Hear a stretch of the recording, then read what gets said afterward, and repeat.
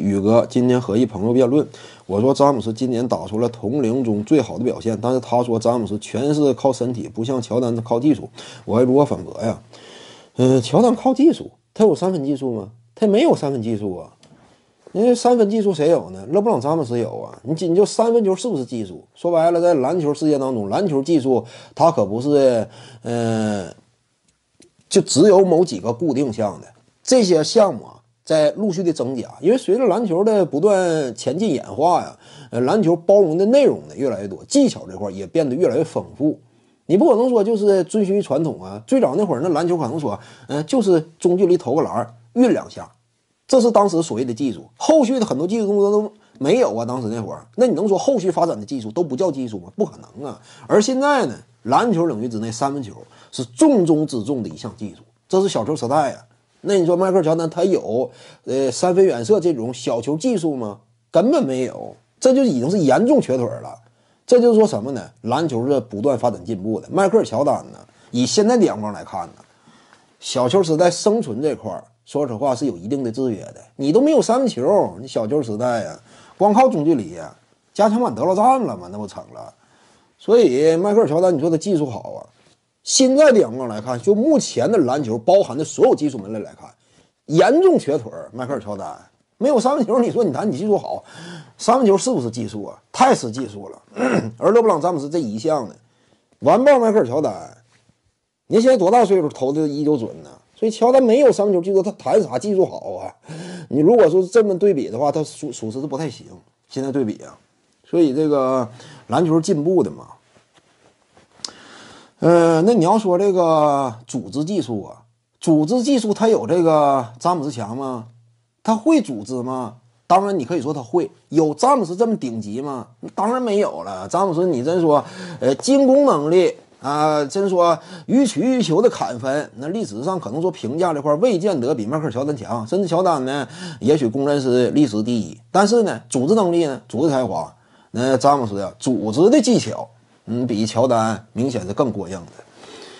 嗯，再结合呢，篮板技巧，迈克尔乔丹有这个詹姆斯强吗？也没有啊。卡位啊，意识啊，这些东西也有技巧。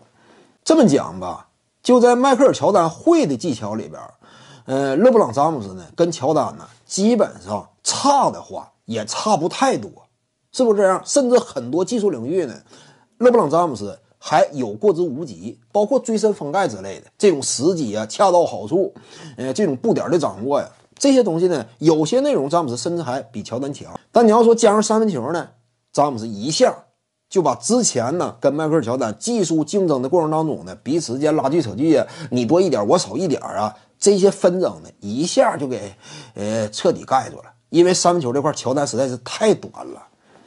詹姆斯嘛，总体技术的话，你真说对比，因为三分球在如今篮球领域之内的意义非同凡响。这一项技术瘸腿的话，那以现在的篮球眼光来看，你说他俩谁技术全面呢？以现在的篮球眼光来看呢，詹姆斯技术全面呗。那你要说啊，以迈克尔乔丹那个时代的眼光来看，那个时代那是过去呀，你不是活在过去呀，你不活在现在吗？你现在眼光来看，你说他俩谁技术好呢？时代是不断发展进步的，詹姆斯的技术啊，总体评分的话高于迈克尔乔丹了，是不是这样啊？乔丹有一大短板，你别说这个勒布朗詹姆斯总体评分高于乔丹，斯蒂芬库里也高于乔丹嘛，总体评分啊，因为他有一项瘸腿嘛，总共考五科，你四科呢答的都很好，甚至四科你都打九十九分，另外那一科就打二十，人家其他呢，另外那四科呀。他是平均分能打九十，但是人家最后那一科呢，人家也是九十，那不就总总分就比你高了吗？所以你要说给一个总体判断的话，迈克尔乔丹他这个三分球是不及格的，这点是事实。他整个职业生涯抛开三分球缩短距离那几年以外，他的三分命中率只有百分之二十八点几。迈克尔乔丹整个职业生涯啊，常规赛期间只有百分之二十八点几，因为常规赛漫长嘛，打一场次多呀，这个有说服力吗？百分之二十八点几，放到现在什么水平？不合格的水平。满分如果说是一百分的话，百分之二十八的三分命中率意味着什么？你没有投篮的资格，没有投篮的丝毫价值。球如果分到你了，即便你在底角出手，对于球队都是有害的。百分之二十八，太低了。这个的话，在目前篮球的理念当中，满分一百，作为一个外线球员，只能投出来这种惨淡的三分表现的话，给多少分呢？最多二十。库里多少分呢？三分球这一项一百分，因为历史最强嘛，一百分。詹姆斯这项多少分呢？八十分。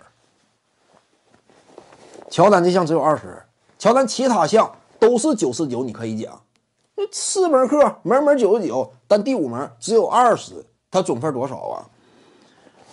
总分是四百一十六嘛，他总分才四百一十六。勒布朗詹姆斯其他那四门门门九十，三分球呢？三分球是八十，三分球，这样一来总分多少？四九三十六加八十，三四百四十分。詹姆斯四百四十分，乔丹只有四百一十六分。库里平均分也比这个乔丹高。点赞加关注，感谢您的支持。